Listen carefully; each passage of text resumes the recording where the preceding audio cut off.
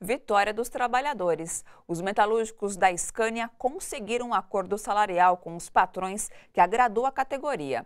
A negociação garantiu, entre outros itens, a participação nos lucros da empresa. A reportagem é de Jô Miyagi.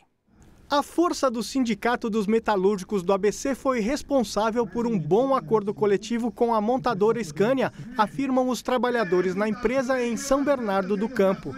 Entre os avanços estão a participação nos lucros, com valor entre 19 e 21 mil reais pagos em duas parcelas, vale compras de 400 reais mensais, reposição de 100% da inflação e mais 2% de aumento em janeiro do ano que vem. O que a gente conseguiu foi um acordo de dois anos, né, o que dá uma certa tranquilidade para o pessoal da fábrica. E assim, também não bastava a gente só fazer um acordo por dois anos e fazer um acordo ruim. Então a gente conseguiu, dentro dos parâmetros, dentro do que a gente tem dentro da categoria, no nosso entendimento, e a Assembleia deu conta de mostrar, que foi um grande acordo para os trabalhadores dessa fábrica. A gente nunca viu uma aprovação tão alta como a gente acabou de assistir agora. A negociação ela foi uma negociação bastante difícil, Porém, ela foi uma prova da consciência do trabalhador e também do empregador. Porque a gente, em 2015 e 2016, a gente tinha um acordo aí fechado e a gente teve que recuar nesse acordo que estava fechado com a empresa, porque o momento econômico era muito difícil e a gente teve que pedir permissão para o trabalhador para voltar um atrás no acordo que a gente tinha feito. E houve a permissão do trabalhador em mais de 95% naquele momento então aquilo foi uma prova de consciência política do trabalhador, entendendo um momento difícil, e, e, e esse acordo é resultado de lá de trás, não é uma coisa construída agora. Eu achei essa proposta foi muito boa para nós trabalhadores, né?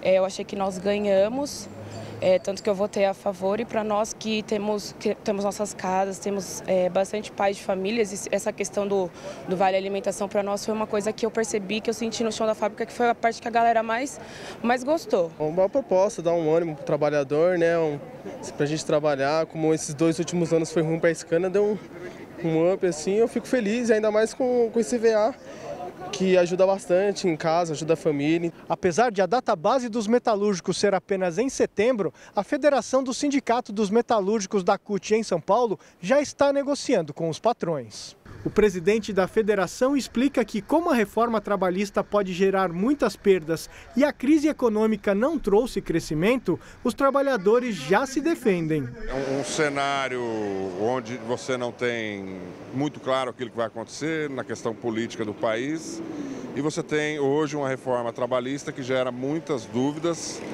e que traz incertezas principalmente para os trabalhadores. Então, por exemplo, com o final é, da ultratividade das convenções, nós não podemos esperar o final da convenção para começar a discutir os itens e cláusulas sociais que nelas se encontram. Então é necessário que a gente antecipe essas conversas e discuta agora, tentando garantir nas próximas convenções todas as garantias ou todos os direitos que nós tínhamos, né? Todas as, toda a segurança e também não permitir que a reforma trabalhista tenha efeito é, sobre nós metalúrgicos. A gente conseguiu sindicalizar aí aproximadamente aí mais de em torno de mil trabalhadores em menos de um ano. Aí. Então o pessoal está vindo, está entendendo a importância de se unir junto com o sindicato, porque se a reforma trabalhista tem o objetivo de enfraquecer o sindicato, aqui não, o debate está ele tá muito claro, então o pessoal entende a, a, a necessidade de estar tá junto, fechado com o sindicato.